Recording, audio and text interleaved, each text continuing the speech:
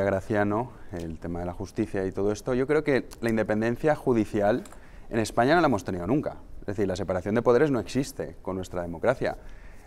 Ejemplos hay muchos. Pues Podríamos... Fíjate, lo que intervenía el gobierno de Rajoy, que le tiraron por la ventana. Sí, bueno, porque ya sabemos aquí qué es lo que ha hecho el centro derecha y la derecha durante muchos años. Es bastante indolente, pero el caso de Andalucía con los seres es un ejemplo de muchos. La jueza Laya expulsada, la juez Núñez Bolaños, que le están prescribiendo causas, millones de euros robados que nadie va a poder, eh, pues que no va a tener sentencia en firme porque ya están prescritos. Entonces esto a mí eh, realmente lo que veo es que van ya, han puesto el pistón directamente para acabar por completo con el régimen constitucional que con este sistema que teníamos de separación de poderes, lo que se preveía es que el gobernante tenía que ser honesto y que iba a permitir que la Fiscalía fuese independiente.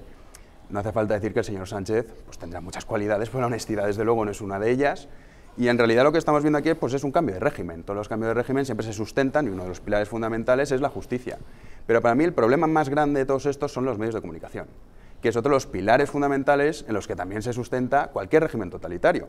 Cualquiera que encienda la televisión, hablamos de los más media, de personas que tienen alcance de millones de, televidentes, estos programas que estaban nombrando ahora, Ana Rosa, Mediaset, el duopolio informativo... No, yo no, no he nombrado. Bueno, los nombro yo, el duopolio informativo, Mediaset y A3 Media, que copan el 90% de la cuota de pantalla, cualquiera que vea esos programas sabe perfectamente que lo que van es a la manipulación de masas constante y luego también el tema de la educación, que es otro pilar, y eso ya lo controlan todos los que hemos ido a la universidad sabemos qué es lo que hay ahí.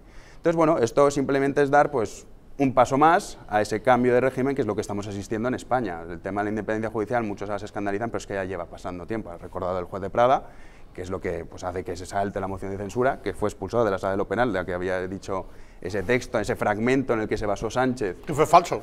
claro que lo es falso, pero bueno, pero ya está. Pues la moción de censura ya está hecha, Sánchez ya está en el gobierno, igual que ahora todos decimos, qué escándalo que sea Dolores Delgado que cayó una trama de extorsión a empresarios, y lo que respondió cuando Villarejo le contaba toda esta estratagema, utilizar a prostitutas para luego extorsionar a empresarios y a políticos, éxito garantizado esta señora es ahora la fiscal general. Entonces a mí lo que me preocupa es que lo que estamos viendo es que este cambio de régimen con la justicia, que puede inventarse, igual que lo hizo el juez de Prada, cualquier cosa cuando les interese, ya sea contra un partido político, contra un personaje público, contra el que sea, y luego lo unes con los medios de comunicación y ya tienes hecha la campaña. Y el caso, pues bueno, a mí me viene a la cabeza, siendo de Valencia, el señor Camps, que se tuvo que ir de Valencia además porque no podía salir a la calle durante una temporada, que nunca ha tenido una sentencia condenatoria. Por unos trajes, luego quedó exonerado. Jamás ha sido, es igual de inocente que todos los que estamos aquí y de la mayoría de los televidentes. Y le obligaron a dimitir, además, eh, despedazándole públicamente. La Oltra y el listo este del Congreso de los Diputados, que están imputados.